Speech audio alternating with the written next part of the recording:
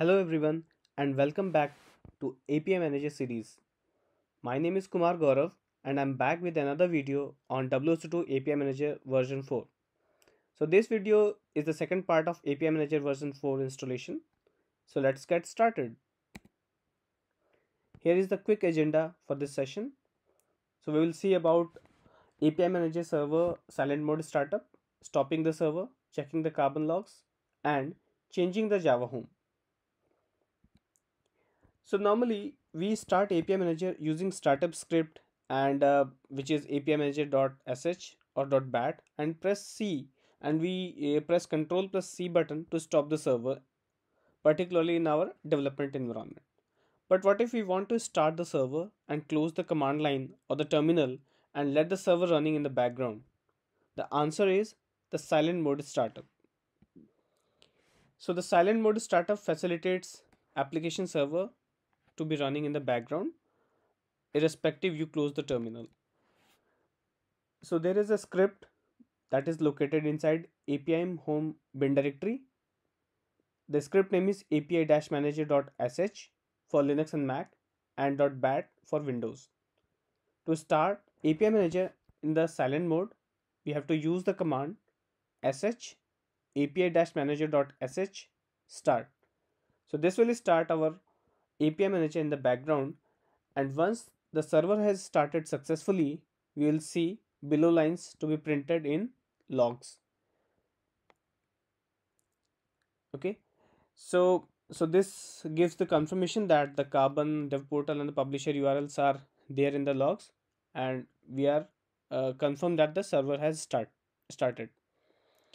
To stop the server there is the same way we have started the server so the script remains same and we just need to apply the stop command in the last instead of start and this will stop our server. So this way uh, we uh, uh, we can stop our server if the server is running in the background. Because for running in the foreground we can just press the control plus c button to stop the server. So the requirement comes when uh, if the server is running in the background so how can we check the logs? There are two ways to check the logs. Either we manually go inside the directory or uh, we can see the logs uh, that is printed live for the debugging and the testing purpose. So there is a log file wso2 carbon.log the file is located inside api manager home bin uh, sorry repository logs wso2 carbon.log so if we have started api manager in the background and if you would like to see the live or the current logs of api manager then for windows and mac we have to tail the logs using tail command tail minus f apim home repository logs wso2 carbon.log and for windows we can open the file and reload it once the file gets refreshed if we don't want to see the logs uh, to to be available or the logs that are printed live we can just uh, do a sftp to a local file or we can just do a cat command to see the file contents. Okay? So here is the slide that shows once we do the tail minus f so here's a snapshot of how uh, the wso2 carbon.log file looks like and all the necessary info uh, warning and error messages are printed here. So now there are some scenarios uh, where we need to change the java home or need to use a specific java version to run api manager. The changes are required to be done in a startup script. Uh, the, the script remains same which is api manager.sh or batch file and there is a line available uh, inside the, the the file which is java underscore home. So you have to change the values of java home variable as per your requirement. Let's say we are running jdk 1.8 and 1 and 11 and we would like to use jdk 11 to run my api manager. So we have to set the part and save the file. We can use any standard editor in windows or using linux we can use the vim or the nano command to edit the file and update the value of java home. So that's come to end of this session. Uh, that's the theoretical part that we have covered in this session. So now we are good to start the demo. So let's begin the demo. So we have api manager 4 which is installed in my laptop.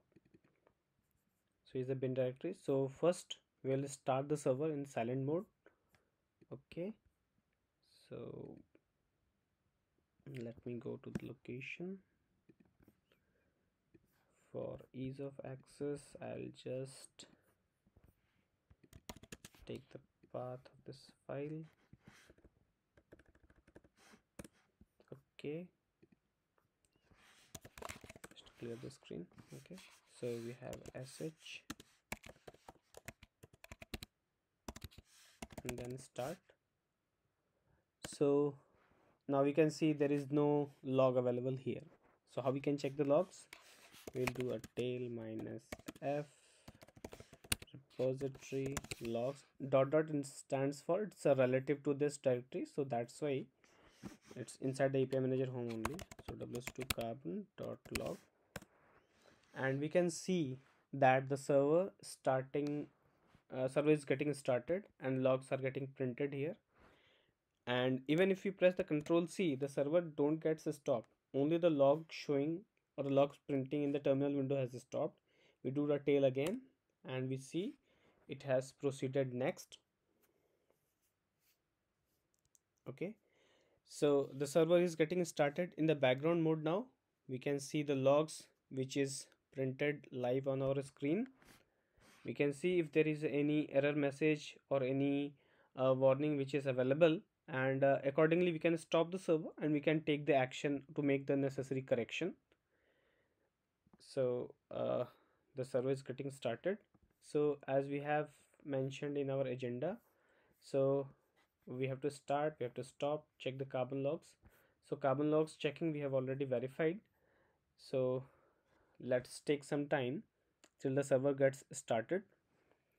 So once the server will get started successfully you will see uh, some logs to be printed that the publisher url the dev portal url and the carbon url so even also it shows the server startup time how much time the server has taken to start so that you can uh, make the necessary changes for the uh, uh, the parameters that are required to stop the server. Okay so we can see the server has started. We can see let's check it out okay. The configuration changes are getting applied.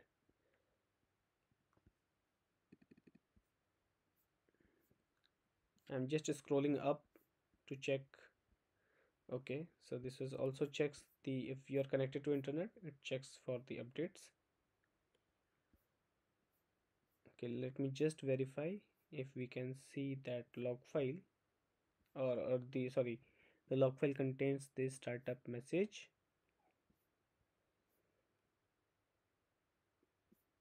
Okay these are the the synapse configuration plans.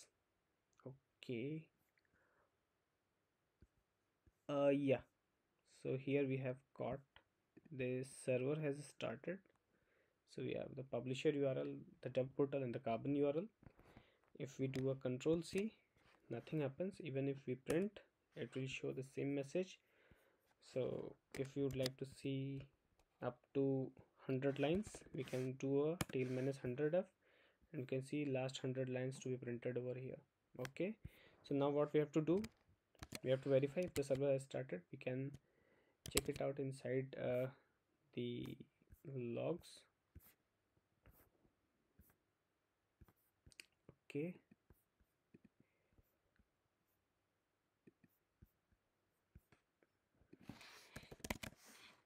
localhost 9443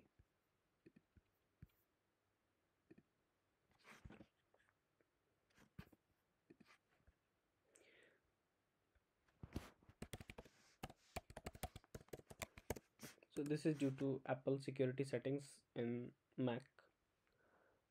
That certificate it's unable to verify the certificate. Okay cool. We are not going to log in this time. Just need to verify if it has started so now we are going to stop the server.